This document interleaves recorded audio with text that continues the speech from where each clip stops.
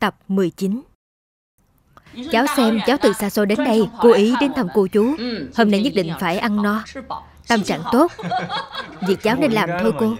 Hai người cũng ăn nhiều dạo Vất vả rồi. Được. Con gái mấy hôm nay vất vả rồi Ăn nhiều dạo đi. Cũng chỉ có bố biết thương con Không giống mày kia. Củi chỏ chỉ biết hướng ra ngoài. Cháu cảm ơn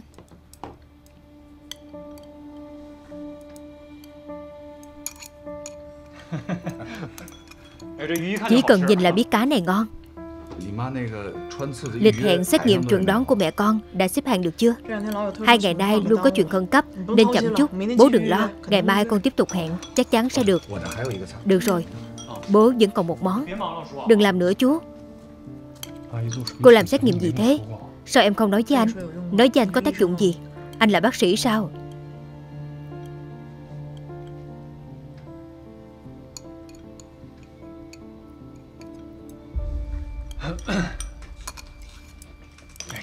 Vừa nhìn đã biết là ngon. Tống Nhi ăn đi. Cháu đang ăn đây. Không sao, không sao đâu. Cháu đừng lo lắng. Chỉ là cô cảm thấy Khám bệnh ở thành phố lớn Phiền phức quá. Xếp hàng dài ơi là dài. Chỉ hẹn thôi mà đến tận mấy ngày. Cháu nói xem Nếu biết vậy Ban đầu chi bằng khám luôn ở dưới quê Là được rồi. Chạy đến đây làm gì không biết Thành phố lớn là như vậy đó, Cô đừng nóng lòng. Nếu đã đến rồi, Chúng ta cứ yên tâm đi. Khám bệnh ở đây, Cô cần gì không cần. Tôi có thể tự xử lý. Mau ăn đi. Ăn xong tôi còn có việc. Bố à Bố còn làm gì nữa thế? Không sao. Cô ấy là thế đó. Tống Nhi, Hai chúng ta ăn. Cháu ăn thịt vịt đi vấn đề nan giải của cuộc đời.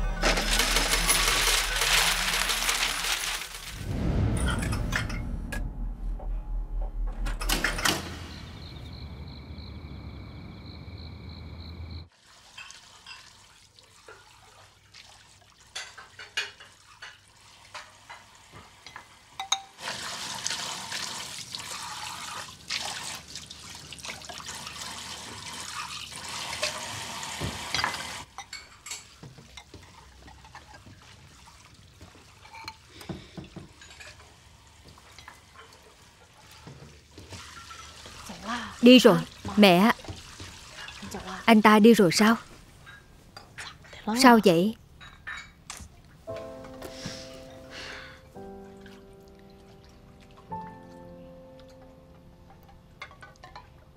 Vừa buông đũa là con chui vào phòng, Gọi rác cổ không ra. Con đây là làm gì thế? Người ta không đi thì làm sao biết? Mẹ không hiểu nổi Con lớn thế này rồi, Càng ngày càng không hiểu chuyện. Con làm gì? Mẹ à là con không hiểu chuyện Hay là mẹ tự ý quyết định? Không phải con đã nói với mẹ rồi sao? Chuyện của bọn con Sao mẹ cứ lại gọi anh ấy đến nhà vậy? Người ta tự đến đây Con trách mẹ sao? Con tưởng người ta thực sự đến thăm mẹ và bố con sao? Người ta mượn cớ quan tâm bố mẹ Đến vì con đó. Sao con không biết vậy? Con xem thái độ của con kìa. Con tự xem đi Tống Trạch Lâm làm sao nào? Rất tốt mà, Không phải chia tay thôi sao? Cũng đâu phải kết thù. Con không thể bắt đầu lại sao? Mẹ à Mẹ có biết tại sao bọn con lại chia tay không? Anh ấy và cái cô thực tập sinh ở công ty anh ta. Bọn họ không cần con nói thêm đúng không?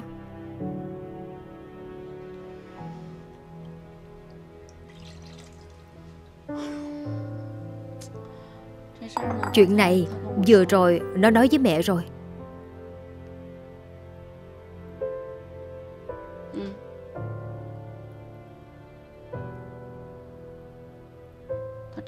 Nó biết mình không đúng. Thái độ cũng rất tốt. Mẹ không tha cho nó. Mẹ thay con dạy dỗ nó, Đúng không? Ai mà không từng phạm sai lầm chứ con? Không phải có câu nói kia sao Lãng tử quay đầu quý hơn vàng Đúng không Mẹ nói con nghe Đàn ông từng phạm sai lầm Sẽ càng biết trân trọng Bởi vì trong lòng họ hổ thẹn Sẽ đối xử với con tốt hơn Mẹ ơi Con không cần cái tốt đó Vì sao anh ta phạm sai lầm Thì lại như bảo vật thế? Con không thể tìm một người chưa từng phạm sai lầm sao? Trước đó lúc người ta cần anh ta Con phải hai tay dâng lên. Bây giờ người ta không cần nữa Con phải nhặt về sao Bây giờ con vẫn còn thời gian và điều kiện không? Có không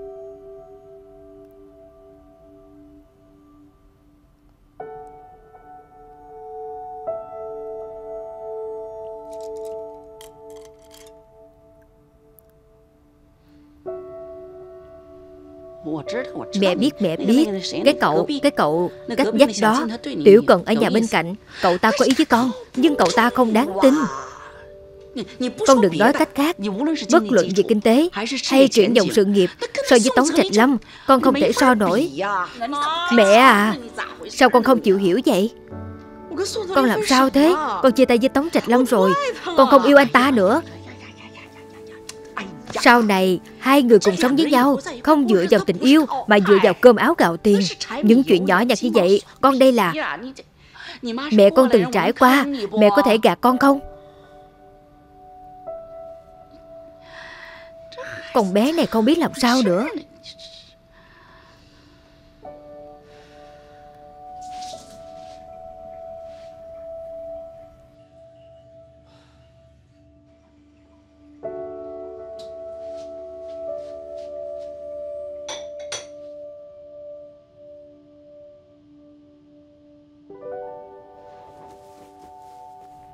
Mẹ à Đừng diễn nữa có được không? Mẹ tưởng con không nhìn ra. Mẹ có ý gì sao? Từ hôm ở bệnh viện về Mỗi ngày mẹ giả vờ như không có chuyện gì. Mẹ giả vờ hi hi ha ha. Chẳng qua là mẹ sợ. Mình xảy ra chuyện gì có đúng hay không?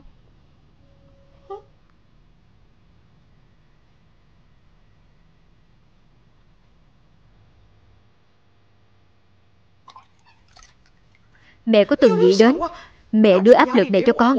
Trong lòng con có chịu nổi không? Mẹ đừng ôm tâm trạng Chăn trối như vậy Rồi sắp xếp cuộc đời sau này của con. Mẹ lạc quan chút đi mẹ.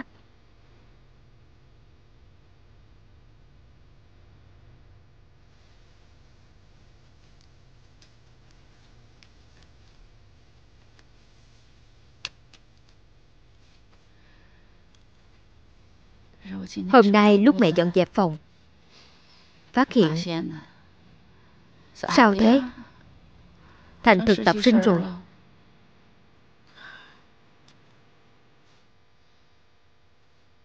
Con nói xem con đến Thượng Hải phấn đấu nhiều năm như thế. Cuối cùng bạn trai không còn. Đúng không? Công việc bắt đầu từ số không. Con nói xem Mẹ có thể an tâm không? Mẹ à Chuyện công việc trong lòng con tự có tính toán Hơn nữa con không thể là thực tập sinh mãi được。Nếu như trước đó Lúc ở Hòa Hưng Con suýt có thể làm trưởng phòng Hiện giờ con cũng có thể bắt đầu lại。Mẹ đừng có nghĩ con vô dụng như vậy Con nhất quyết phải tìm một người đàn ông mới được sao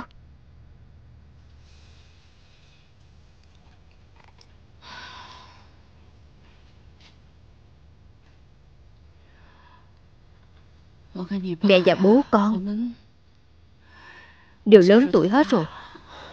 Đúng không? Lại không ở Thượng Hải. Còn nói xem bên cạnh con có Một người đáng tin tưởng không? Mẹ và bố con Sao có thể yên tâm đây chứ? Nói xem Nếu con bị ốm Có người đưa nước nóng cho con Đưa thuốc cho con Chăm sóc cho con con xem lần này mẹ bệnh Nếu như nói mẹ lỡ như Có chuyện gì Thì con phải làm sao? Mẹ à mẹ ơi Xin mẹ đó đừng có nói nữa. Con biết mẹ lo cho con. Nhưng hiện giờ mục tiêu hàng đầu của con Là chữa khỏi bệnh cho mẹ. Mẹ muốn có người chăm sóc con. Mẹ phải chăm sóc mình cho tốt trước đã. Mẹ à Đừng có nói nữa Đừng có nói nữa mà. Con bé này, Mẹ thực sự muốn đánh chết con. Mẹ thực sự muốn đánh chết con. Mẹ à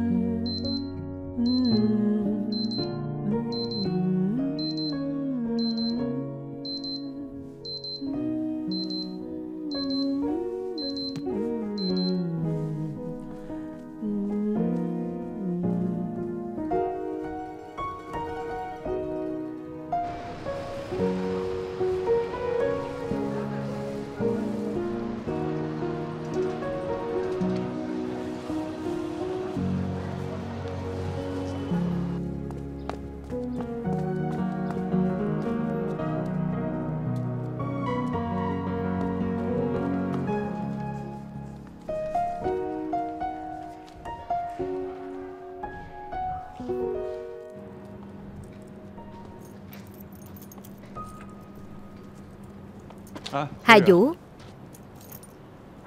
Sáng sớm đã đến thăm bố mẹ tôi sao? Cứ thế mà lên đi. Họ đều có ở nhà. Hôm nay anh cố ý đến tìm em. Tìm tôi làm gì? Anh đã giúp em tìm một bệnh viện tư Có thể làm được rất nhiều kiểm tra. Em trực tiếp đưa cô đến đó là được. Có bạn anh ở đó có thể dùng bảo hiểm y tế Giờ bệnh viện tư cũng dùng bảo hiểm y tế được rồi. Em đừng quan tâm những cái này. Đi khám trước đã. Anh đừng dỗ tôi nữa Tống Trạch Lâm. Chuyện này anh đừng có lo nữa. Tôi không muốn nợ anh. Em nợ tôi cái gì? Hà Vũ chuyện của hai chúng ta Đừng gì giận dỗi với anh Mà lỡ việc khám bệnh của cô. Anh cho rằng tôi không muốn đến bệnh viện tư sao? Là tôi không trả nổi. Cầu xin anh đó.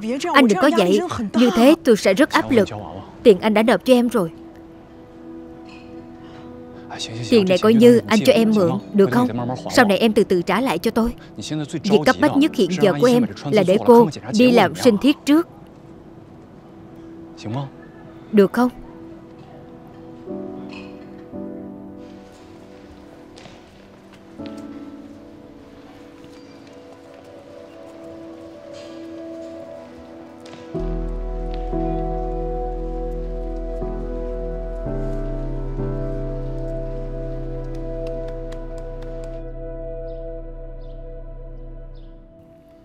Mẹ cảm thấy sao rồi? Có phải rất khó chịu không? Không sao. Tống Nhi à Không sao đâu. Cháu xem. Cảm ơn cháu nha. Làm phiền cháu rồi. Cô à Cô như vậy là quá khách sáo với cháu rồi. Là việc cháu nên làm mà. Đứa trẻ này. Hà qua à Mẹ con vừa làm thủ thuật chọc hút xong, Cần nghỉ ngơi. Hai đứa đều rất bận. Đi làm việc trước đi. Chỗ này có bố rồi. Đúng đúng. Chuyện đó, tiểu tống. Chẳng phải hôm nay phải về công ty sao? Tối nay Hà qua à, con đi đi tiễn cậu ấy đi. Đi tiễn đi. Dân đi đi. Chúng ta đi thôi. Dân cô à Vậy cháu đi trước nha. Cô nghỉ ngơi cho khỏe nha. Được. Vậy hôm khác cháu lại đến thăm cô. Cháu đi đây.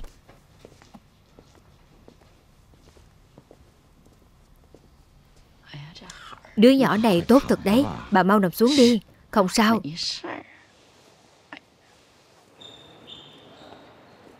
Hôm nay thực sự phải cảm ơn anh. Hai hôm nay cố gắng tranh thủ thời gian. Em cũng ngủ một giấc tử tế đi. Nhìn em mệt mỏi kìa. Tiền ứng ra trả cho anh trước. Em làm gì vậy? Em mau cầm lại đi. Anh cầm lấy đi. Về sau chỗ em cần dùng đến. Còn nhiều lắm đó. Cầm lấy đi. Nếu không hai chúng ta không có cách nào qua lại Cầu xin anh đó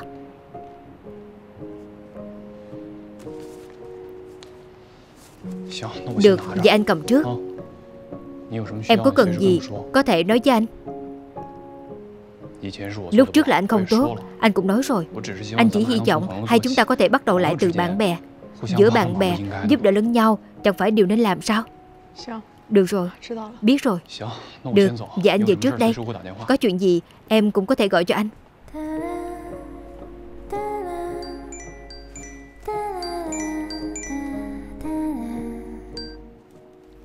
Alo? Alo Đại Vũ. Nói cho chị biết một tin tốt. Em lấy được số làm thủ thuật chọc hút rồi. Nhưng thời gian hơi lâu một chút. Phải đợi 2 tuần. Nhưng mà không sao hết. Em đã xếp hàng lấy số Của cả bác sĩ điều trị chính rồi. Như vậy chị không cần lo lắng vấn đề giành số nữa. Thật ngại quá. Em chị đã làm xong Ở bệnh viện tư rồi. Thời gian gấp quá Chị quên không nói cho em một tiếng. Được rồi không sao Không sao cả。Chuyện như này đương nhiên làm càng sớm càng tốt. Chuyện đó Cậu lấy số hết bao nhiêu tiền Chị chuyển cho cậu. Đã lúc nào rồi Chị còn tính toán cái này với em. Được rồi Vậy chị chú ý nghỉ ngơi nhiều một chút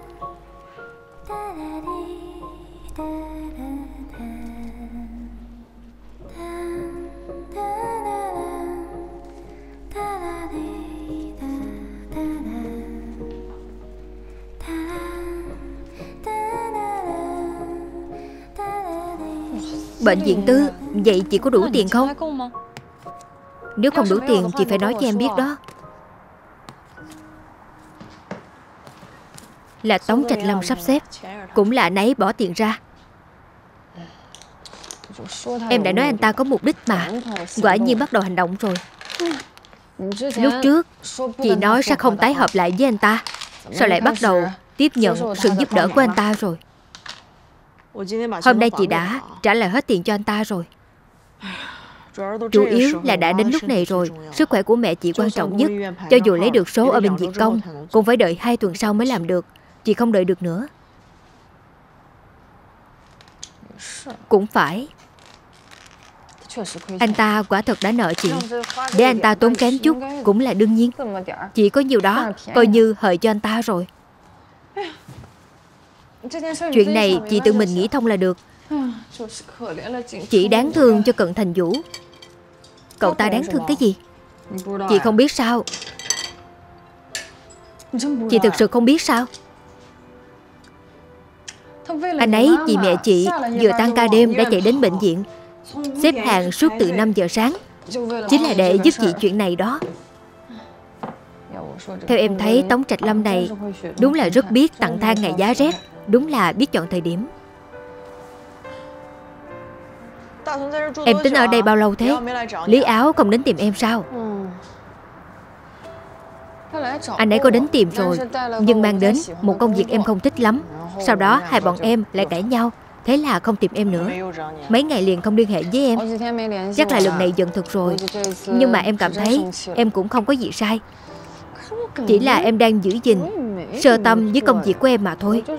Có khi hai chúng em thực sự không hợp để yêu đương.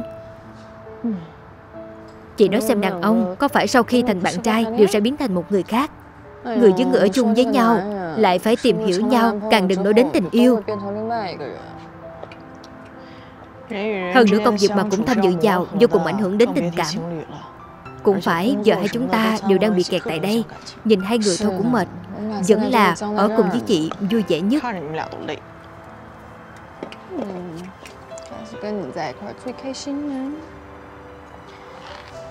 Vậy chị vẫn ở cùng với tiền, vui vẻ hơn. Vậy khẳng định là chị ở cùng em, vui vẻ nhất.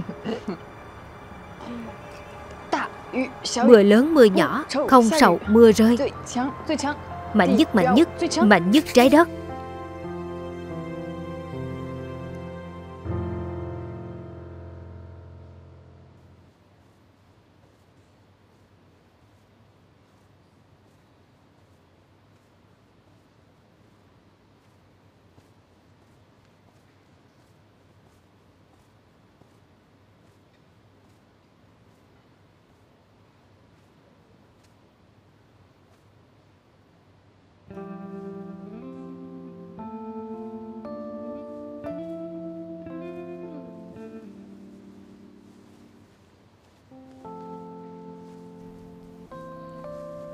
Tỉnh rồi. Ngủ như thế dễ bị cảm lạnh. Sao chị lại đến đây? Chị cố ý đến để cảm ơn cậu. Nghe nói cậu cả đêm không ngủ, Thay chị xếp hàng. Hôm nay lúc cậu gọi điện cho chị Chị đang dội quá, Vẫn chưa kịp phản ứng lại. Thật ngại quá, Không sao. Vấn đề này không phải đã giải quyết rồi sao?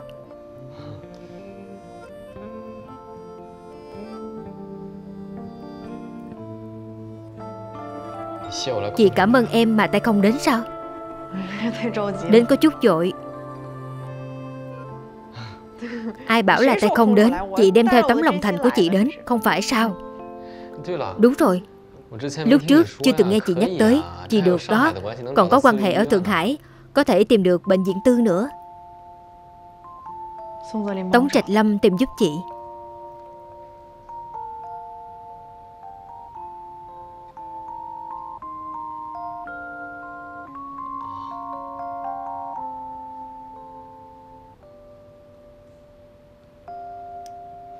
Vậy rất tốt.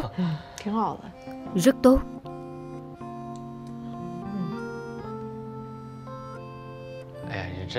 Lúc thực sự có chuyện có một người Có thể giúp dậy thực sự rất tốt.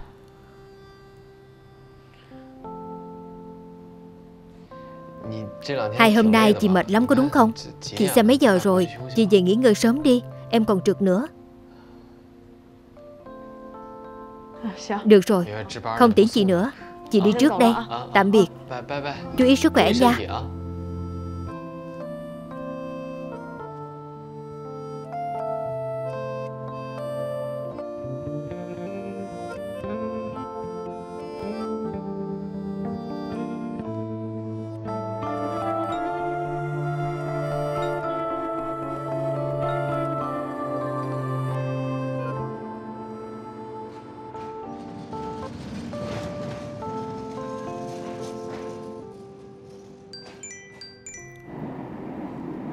Alo, sếp Trần Đang ở đâu? Tôi ở bên ngoài. Tôi lập tức về công ty. Cô làm sao thế? Tháng này cô đã xin nghỉ bao nhiêu lần rồi? Xin lỗi sếp Trần Vì gần đây trong nhà có chút chuyện. Vì vậy tôi Đây là lý do sao? Hạng mục của sếp Lưu Giờ cực kỳ cấp bách. Nhưng cô cứ chăm ba ngày lại xin nghỉ. Cô thấy có ra gì không? Cô đừng quên. Hạng mục này lúc đầu là vì cái gì? Mới xuất hiện vấn đề. Giám đốc Lưu vừa gọi đến Hy vọng nghe lại đơn hạng mục của cô Buổi họp hạng mục chiều nay với giám đốc Lưu là cơ hội cuối cùng của cô. Nếu hôm nay không thể lấy được hạng mục của giám đốc Lưu, thì từ ngày mai không cần đến công ty nữa.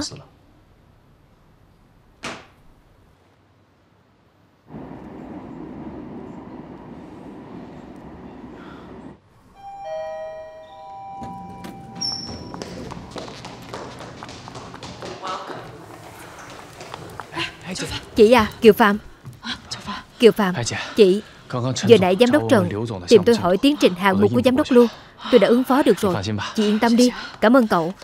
Nhưng chúng ta vẫn phải làm phân tích hạng mục Với so sánh hạng mục nữa. Không vấn đề. Tôi đã làm xong rồi. Làm xong rồi. Tôi còn chưa nói mà cậu đã làm xong rồi. Học theo chị lâu như vậy Tôi phải có chút tiến bộ chứ. Cậu là một mình sao? Được lắm. Không hổ là tin anh về nước. Được rồi. Vậy xem phương án của cậu xem nào. Rồi chúng ta hoàn thiện một chút. Được đi nào Đợi chút. Chị sao thế? Không sao. Có phải chị mệt quá không? Có cần nghỉ ngơi chút không? Còn chưa làm xong mà. Nghỉ ngơi cái gì chứ? Đi xem phương án đi. Trên này chúng tôi đã tiến hành một phân tích thị trường cạnh tranh về kỹ thuật của hạng mục y tế thông minh Lai Lao, còn có tư duy quản lý phù hợp sau khi đầu tư. Cảm ơn. vốn vẫn chưa có, các cậu đã làm xong kế hoạch quản lý sau khi đầu tư. Chúng tôi muốn mượn cơ hội lần này để giám đốc Lưu anh nhìn thấy sự nỗ lực và thành ý của chúng tôi trong hạng mục này. Đây chỉ là một ý tưởng kế hoạch sơ bộ, quy định chi tiết cụ thể. Chúng tôi cũng sẽ không ngừng hoàn thiện trong quá trình sau khi hợp tác.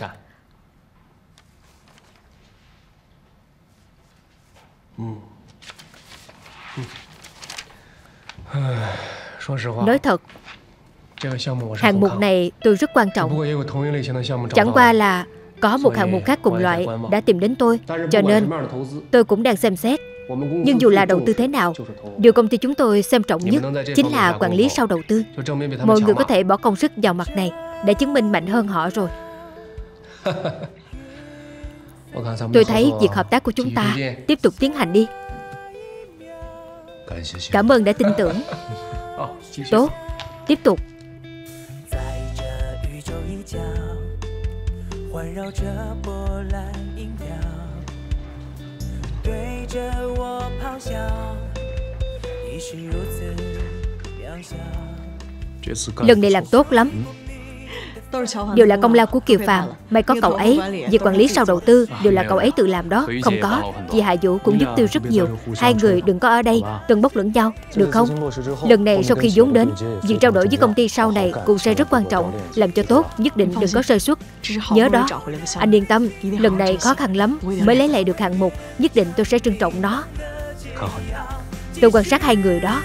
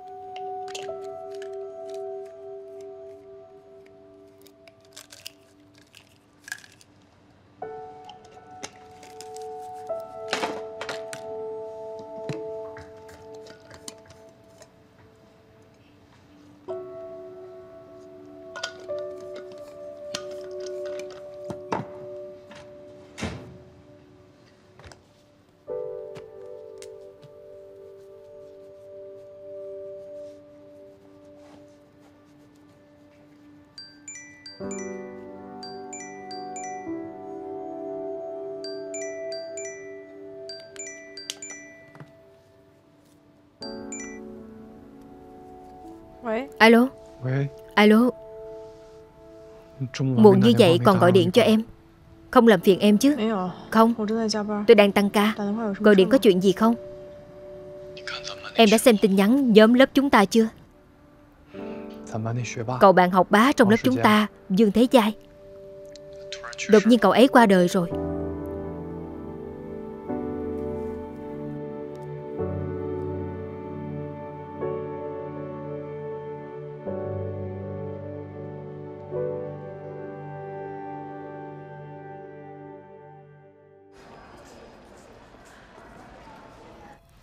kết quả kiểm tra của mẹ cô Có rồi.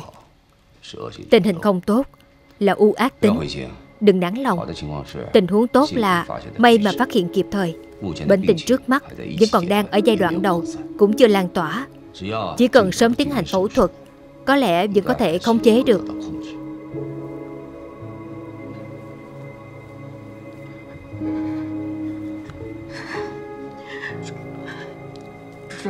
Chủ yếu là mẹ tôi bây giờ khá lớn tuổi rồi. Nguy cơ làm phẫu thuật này có sao không? Tình huống này thường chúng tôi sẽ chọn dùng phẫu thuật xâm lấn tối thiểu. Tỷ lệ nguy cơ sẽ ít hơn. Hơn nữa sau khi phẫu thuật Đối với chất lượng cuộc sống cũng sẽ không ảnh hưởng quá lớn.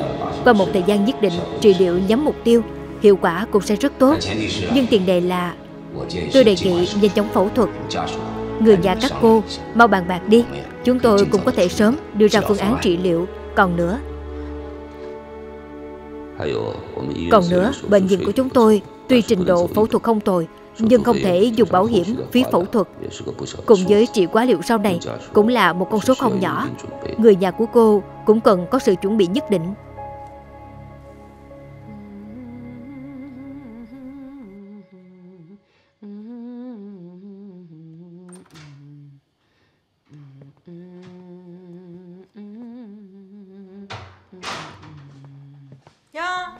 Chỉ có mình mẹ trong phòng thôi sao? Bố con đâu? Con nhóc này, Mẹ con ở đây. Con hỏi bố con làm gì? Tìm ông ấy có việc gì? Không sao. Vừa nãy con xem kết quả kiểm tra của mẹ rồi. Thế nào? Không có chuyện gì hết. Bác sĩ nói rồi. Chỉ là một khối u lành tính mà thôi. Là một cuộc phẫu thuật là xong. Tốt quá rồi. Chỉ là một cuộc phẫu thuật thôi. Làm phẫu thuật sao? Không sao mà còn làm phẫu thuật làm gì chứ? Vậy là mẹ, mẹ đừng lo lắng. Bác sĩ nói rồi, chỉ là phẫu thuật xâm lấn tối thiểu thôi Chỉ một cái lỗ nhỏ như thế này thôi Chỉ một lỗ nhỏ như thế này. Mẹ xem mẹ kìa, sao hả, sợ rồi sao? Sợ gì chứ? Không phải, không sợ. Sợ là gì? Không sợ. Trong lòng mẹ căng thẳng thôi. Con xem chuyện này, con gái Chúng ta bàn bạc chút chuyện đi Có thể không làm phẫu thuật không? Chúng ta chỉ điều trị thôi. Tiểu dụ tới rồi. Cô ơi, tiểu vũ đến rồi. Tiểu vũ, sao lại đến đây. Bạn kia, kéo cái bàn qua đây đi. Đúng thế, còn mang theo đồ ăn nữa. Đại vũ bảo con mang cho cô mà. Chị ấy sợ cô ăn không quen. Đồ ăn ở đây Nên bảo cháu đi mua đồ ăn Đông Bắc. Còn nóng lắm Để cháu mở cho cô. Gà hầm nấm nè. Con bé này Xem như là con còn có lương tâm nào, để ở đây là được rồi. Để ở đây Được rồi, lấy đũa ra. Bốn người chúng ta ăn Hai bọn con không ăn ở đây. Gia đầu chích tiệt này con thật là Vậy được. Vũ à Cố mà ăn món thật đắt vào. Đi đi. Bây giờ đi luôn. Ăn ngon vào nha. Ra ăn đồ ngon. Dẫn em đi ăn đồ ngon. Được được. Vậy bọn con đi trước nha. Hai đứa đi đi.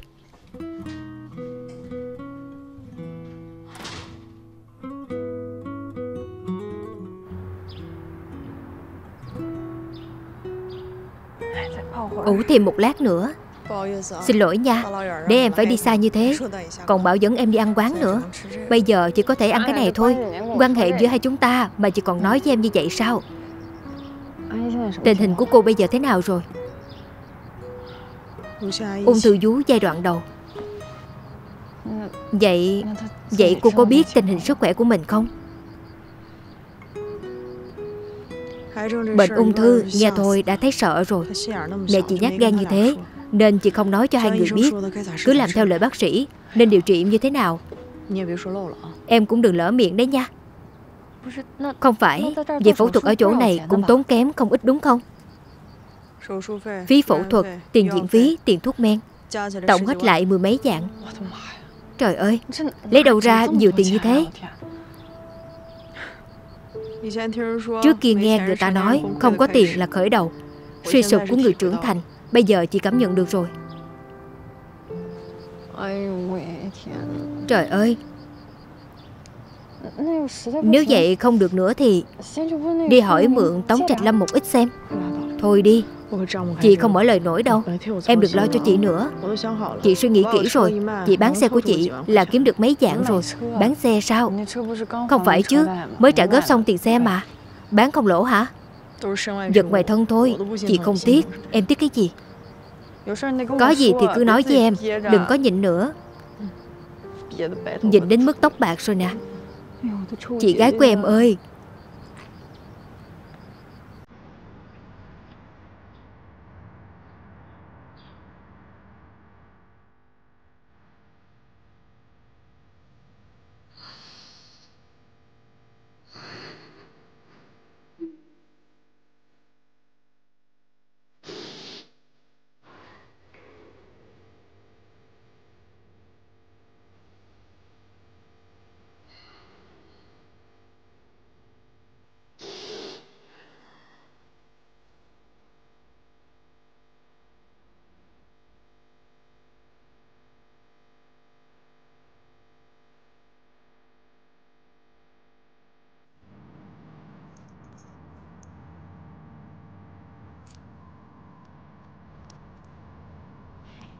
Hôm nay có tiền rồi.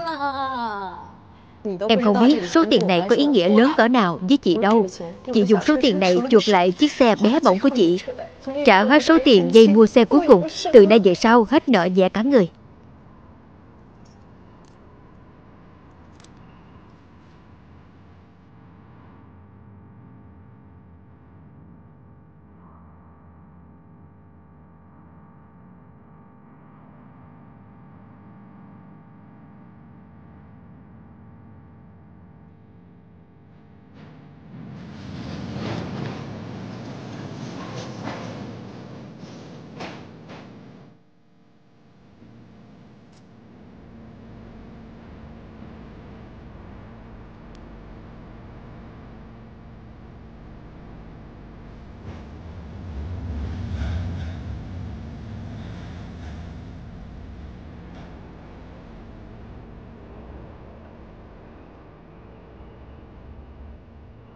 Nếu như chị muốn hẹn ngày phẫu thuật, chúng tôi cần chị ứng trước một khoản tiền.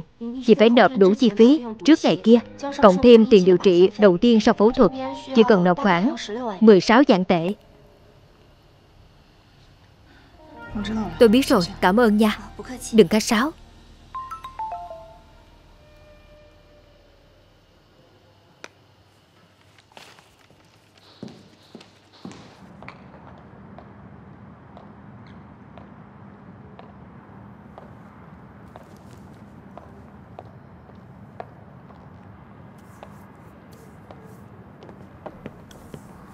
Bố à?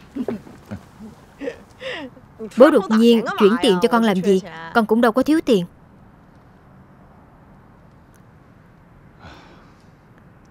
Chi phí ở bệnh viện này lớn như vậy? Trong lòng bố biết cả mà. Ý của bố là về vấn đề phẫu thuật của mẹ con. Bố dẫn bà ấy về quê làm cũng được.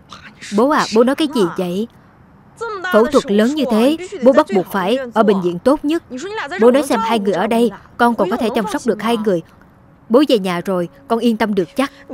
Con gái bố lăn lộn ở Thượng Hải Mười mấy năm rồi, Có chút chuyện này mà không giải quyết được sao? Có tiền mà, Con có tiền nha, Đừng lo. Con ngồi đây nói chuyện với Tiểu Vũ, Bố nghe thấy hết rồi.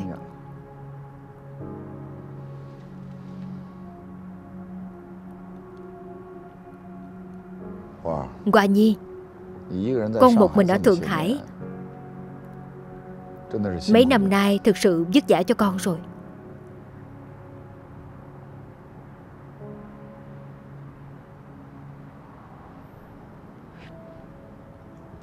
Bố à Bố nói gì thế? Vất vả gì đâu. Con gái bố vẫn chưa đến lúc Để bố tự hào đâu. Đừng làm mũi lòng nữa. Con còn phải đi làm thủ tục con chưa làm xong Con đi làm trước đây. Bố đi lên đi đừng để bị cảm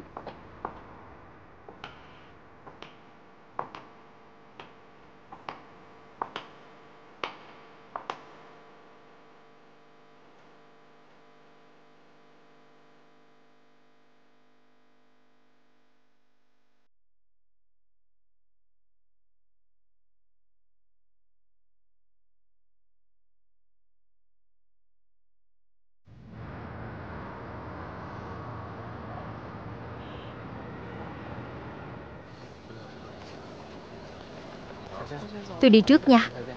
Chúng ta hẹn ngày gặp lại. Được. Lúc khác đi tiếp nha. Tạm biệt tạm biệt Tạm biệt. Đi nha.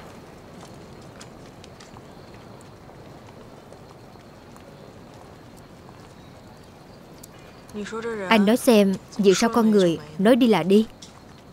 Lúc nãy tôi thấy thầy Trương Khóc lớn như vậy, Làm trong lòng tôi cũng khó chịu theo. Dương Thế Giai Từng là học trò khiến thầy tự hào nhất. Cứ thế mà đi, Chắc chắn thầy phải buồn rồi. Sao cậu ấy đi đột ngột thế? Nói là mệt rồi. anh nghe nói khoảng thời gian trước Nhóm họ nhận được một hạng mục quan trọng. Cả nhóm ngày đêm tăng ca. Có một ngày Lão Dương đột nhiên dòi máu cơ tim Rồi đi luôn.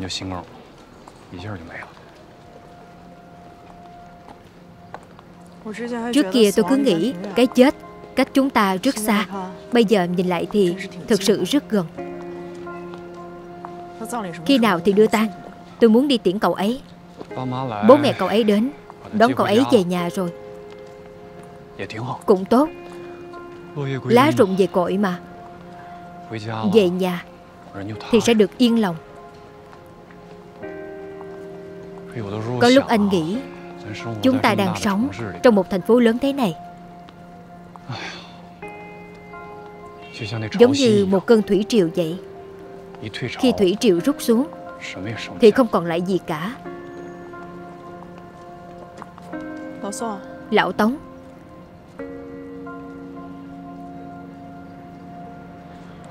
Mẹ tôi chuẩn đoán ra rồi. Ung thư vú giai đoạn đầu Phải mau chóng phẫu thuật. Nếu không sẽ có di căn. Sao em không nói cho anh biết sớm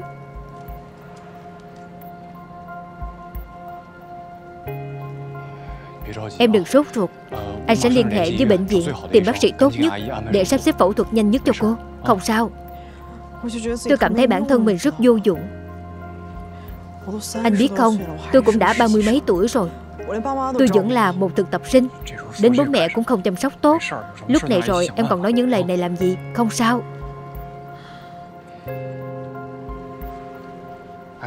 Phía trước chẳng phải là tiệm hoành thánh trước đó mà em thích nhất sao? Tối nay tan ca chưa ăn cơm. Đi nào chúng ta đi ăn thôi. Xem thử có còn lại gì lúc trước không? Đi thôi. Đừng nghĩ nữa. Đi nào. Lâu lắm rồi em chưa đến đây ăn nhỉ? Mau nếm thử đi. Xem thử so với gì lúc nhỏ. Còn giống không? Được chứ Ăn chậm thôi không bị bỏng đó.